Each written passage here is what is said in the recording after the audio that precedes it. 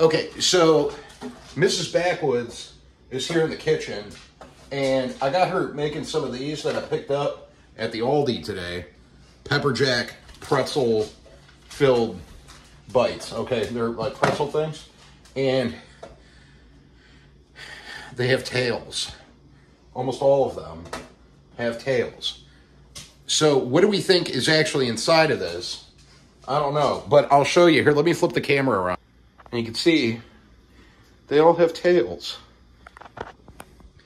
Not gonna lie, a little nervous, but I'm gonna I'm gonna eat these and we're gonna see if there are tiny mice inside of them.